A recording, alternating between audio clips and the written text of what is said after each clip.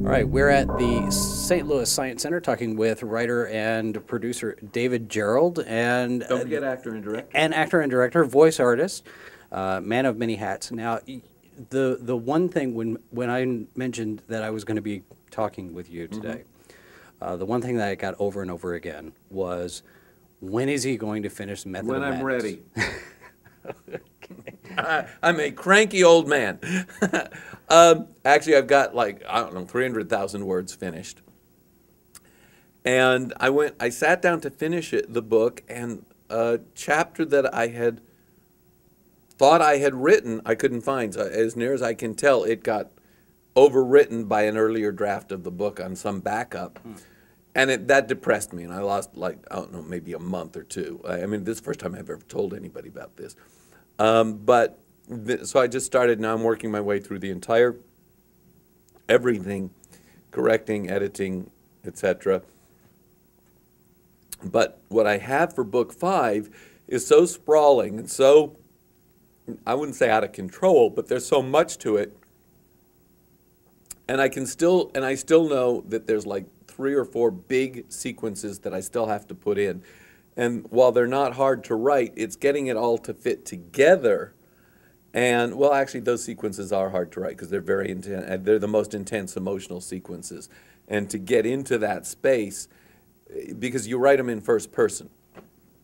I write them in first person. And I have said elsewhere that this part of the series is written in a new, a new kind of prose, first person psychotic, because Jim, the hero, is a little bit crazy. And the, I mean, he's really, you know, it's like delusional. He's in a delusional state. And to write it, most of that is written, most of that part is written, but making it all fit together so that the reader gets a, a connective tissue there is very, very difficult. And to get into the mindset, the appropriate mindset for each scene as an actor, because I don't just write, I act it out in my head and then type it up. Um, it's hard work. And I've had people write to me, well, when are you going to do the, you know, angry letters? I mean, he's like, wow, I appreciate the passion and enthusiasm that you would get that angry at me, but, you know, grow up. It's a book, you know. Well, but it's it's a book that a lot of people have been waiting a long time for. Yeah, apparently, well, how and do you think I feel? It's my book. I'm waiting, you know. I mean, if you guys are frustrated, how do you think I feel? Because I want it finished too. I want to find out what happens. Now, how much of that is is is pre-planned? You you start with an outline. You've got an idea of where the next two books are going to go, or you take them one at a time and just see no, where I it know goes? where I'm going. I know where I'm going right up to the. In fact, I actually have large pieces of the last book already written, so, So- I know where I'm going. So when Method of Madness is done, then you're going right into the other two or other yeah, projects. I have, I have uh, um, large pieces of A Time for Treason written, and a few pieces for A Case for Courage. Is that what it is? Yeah, A Case for Courage. Um, so uh, I have. Uh, I know where I'm going, and but I don't outline it moment by moment because that takes away the fun of discovery. I like saying, well, I'm aiming for here. How am I going to get there? It's kind of like if I were going to get in the car and drive to New York.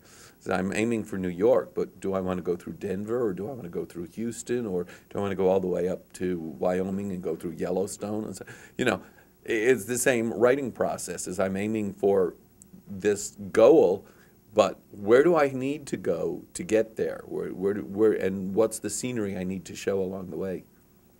What is your pro- is is your process any different for writing screenplays that than for novels? Because like you were saying ear- earlier, for scripts, you've just got to sweat the dialogue, and for books, you've got to sweat the whole thing. But does your approach to the process change very much in terms of what kind of things you do to to prepare to to get a story put together?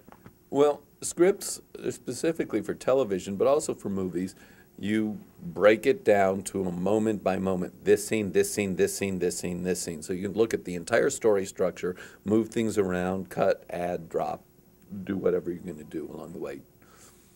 And then, and and that is the whole outlining process is getting the the story, what we call the beats, in place. Then, once you are satisfied with that, then you start fleshing it out with the dialogue. Um, there are times when I with, with a feature film script, now, let me interrupt myself there, actually. Um, I don't do that anymore. I, I, it's in my head. Uh, I used to do it with the cards, but now um, I don't need to do it anymore. It's, it's become a, a, a such a, a, um, a mental muscle, such a, a built-in skill that I already have the structure in my head. So um, the last few scripts I've written, I haven't outlined tightly. Now, if I were doing a television script, you know, if, if tomorrow I got a phone call and do a script for, I don't know, Sanctuary, which I hardly ever watch, I just made that up, um, I would outline it beat by beat by beat to make sure that I understood exactly. Um, so, uh, and Sanctuaries, I, I know a lot of people who work on Sanctuary, and, and, and it is a pretty good show. I just don't watch much science fiction anymore.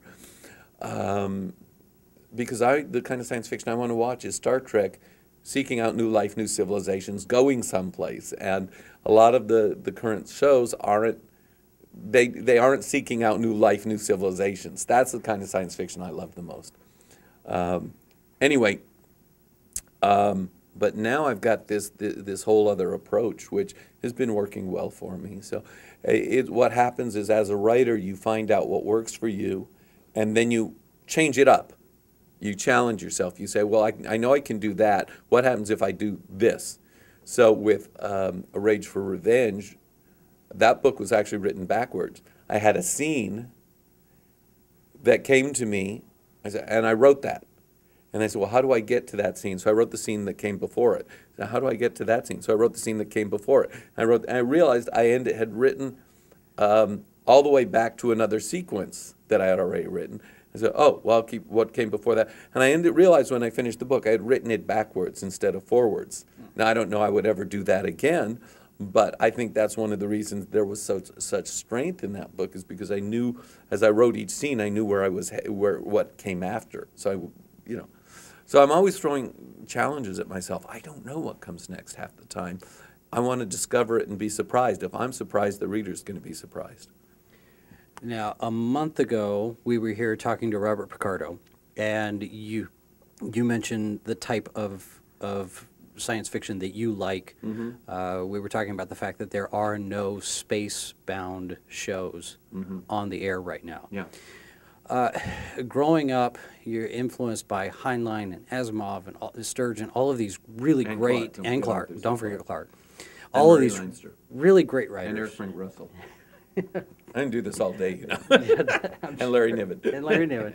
And and nowadays we don't have uh, very many really good quality science fiction shows to inspire that next generation. I That's don't think. right, It's all don't. it's all fantasy now or horror. What- Well, and part of it is that the studios think they think Star Trek has already been done, and they don't want. Oh, well, this is too much like Star Trek. Yeah, okay, so what? Um, they don't understand. I, I don't. That's a generalization. Maybe maybe it's not true.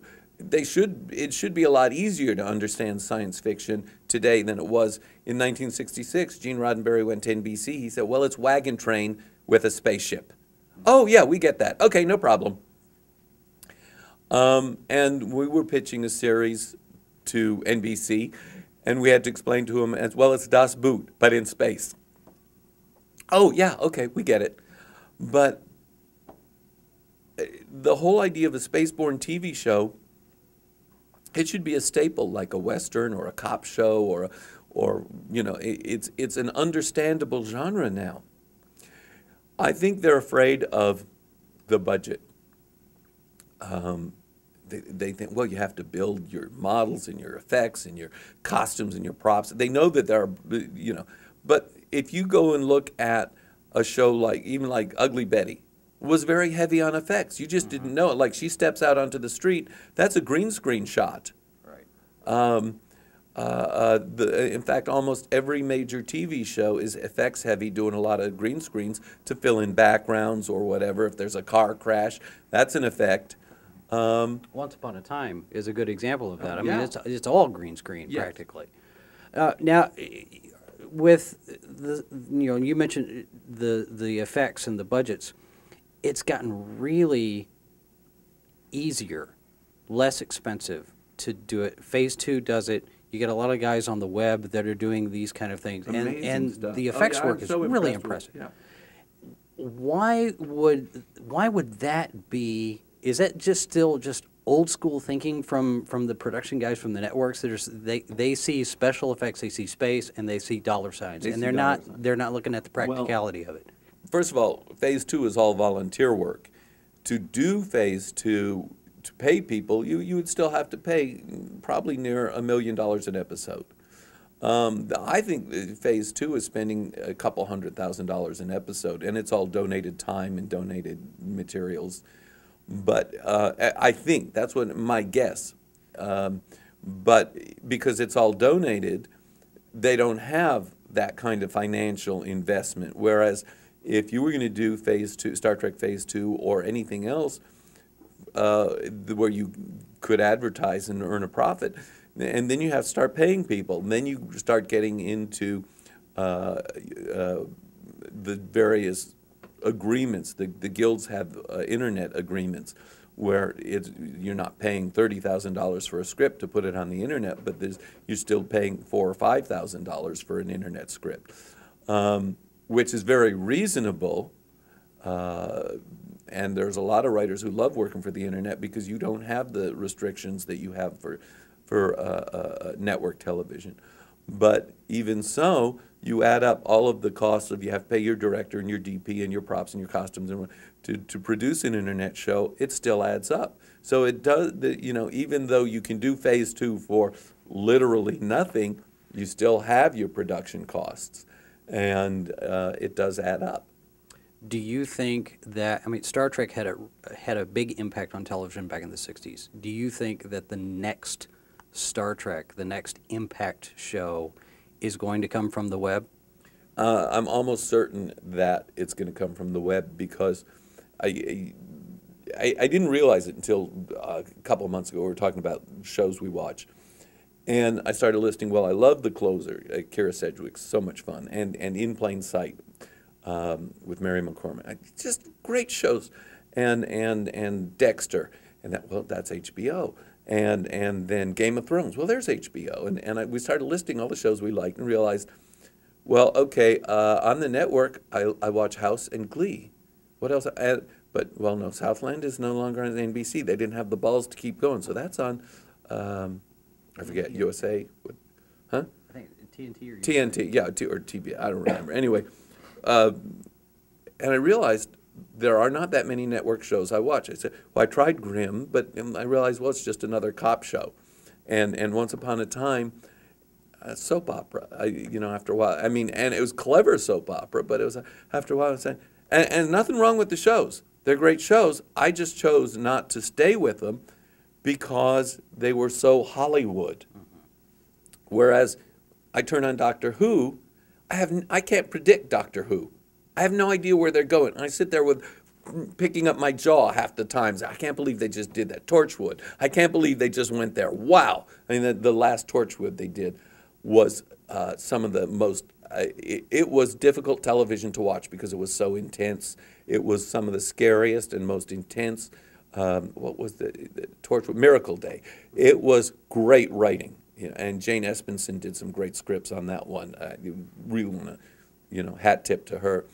Um, but I realized the networks are not doing the kind of television I want to watch. I somebody's watching the network shows, otherwise they wouldn't be putting them on. The only network show uh, that I'm watching these days, there's House and Glee and uh, Hawaii Five O, and I I like Hawaii Five O because the, the cast is fun and it's great scenery. Um, but I don't take it seriously because it's just you know, it's just it's it's kind of a hoot.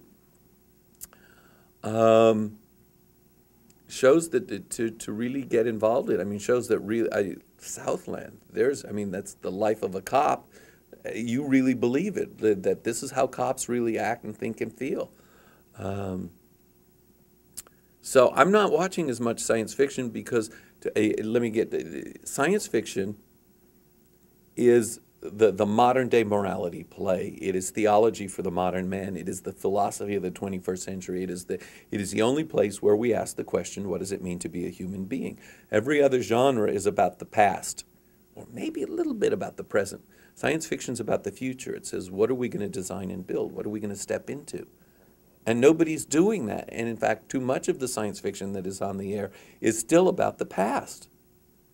Star Trek was unique because it, it was about the future. It says the future is going to be different. It's going to be what we choose to have it be. What are we going to choose to make it?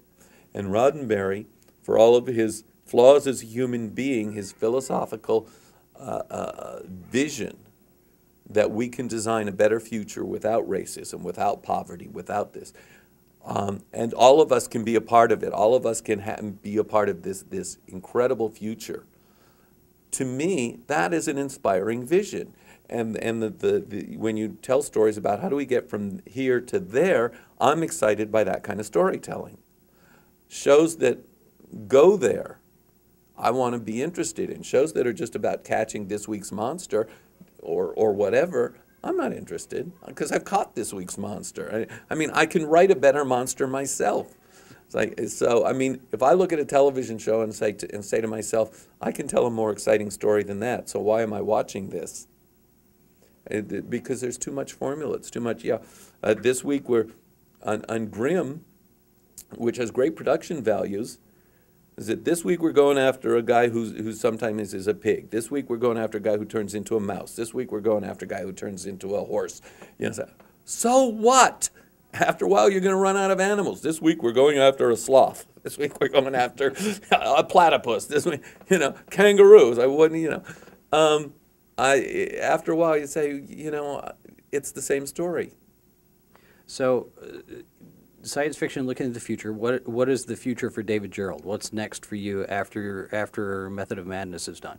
Uh, when I finish the Chtorr series, uh, I have, which and again, from time to time, I'll go back and and, and make notes or uh, write scenes for other projects. So I have um, uh, one book called Footnote, which I've been working on for about um uh, 30, 40, 42 years. Um, I actually finally found the voice for that, and, and so that's growing slowly. That's an autobiographical piece. Um, then there is another piece for, um, uh, which is, fits into the Chtorr universe. Uh, It's called, uh, where it'll be the mode training, which will be kind of a prequel. And that's based on, I did some work with uh, John Hanley uh, Sr. and John Jr., the guys who invented the LifeSpring training. And um, they invited me up to Marin to work on rewriting their manuals.